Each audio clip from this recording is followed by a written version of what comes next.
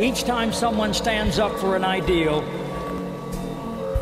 or acts to improve the lot of others or strikes out against injustice, they send forth a tiny ripple of hope and crossing each other from a million different centers of energy and daring, those ripples build a current which can sweep down the mightiest walls of oppression and injustice. The more the world changes, the more it remains the same, I believe, because the three most important needs of every human being on earth are not food, clothing, and shelter as much as the need for freedom, justice, and healing. It is the gross inequality of food, clothing, and shelter that divides us, and the absolute necessity for freedom, justice, and healing that unites us.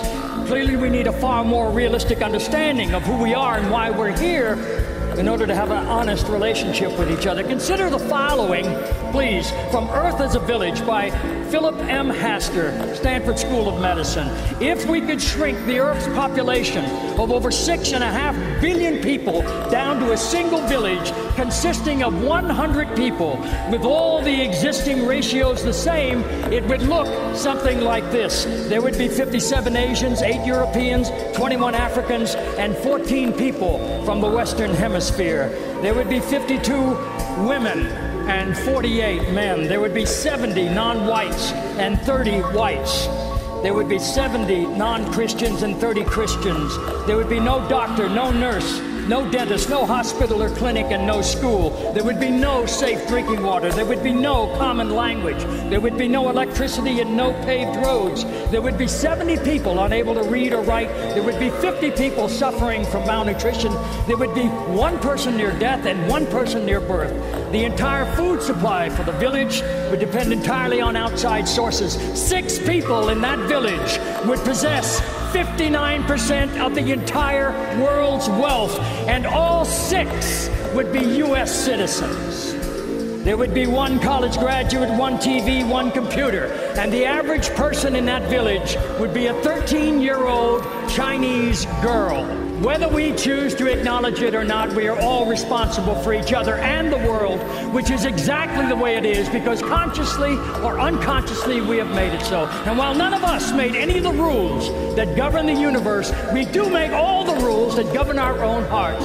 And we are all beneficiaries of those many heroic strangers who have gone before us over the centuries who assure us that the world is still a wonderful and safe place despite our fears. And we're not asked to do great things, we're asked to do all things with great care. Such an ideal is rare in a culture of so many compromised values and so much cynicism, a culture that all too often knows the price of everything and the value of nothing.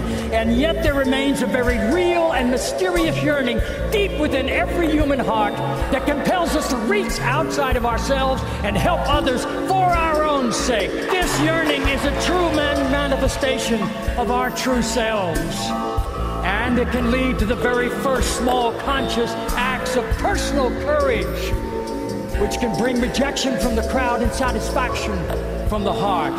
But this yearning can also be very costly as well. If it were not so, we'd be left to question its value. And this, above all, one heart with courage is a majority. Over the entire history of the world, every truth started as a blasphemy. The Irish tell a story of a man who came to the gates of heaven and asked to be let in. St. Peter said, Of course, just show us your scars. The man said, I have no scars. St. Peter says, What a pity. Was there nothing worth fighting for? My fondest wish for each and every one of you young people here today is that you will find something in your life worth fighting for. Because when you do, you will have discovered a way to unite the will of the Spirit to the work of the flesh. And all of humanity will have discovered fire for the second time.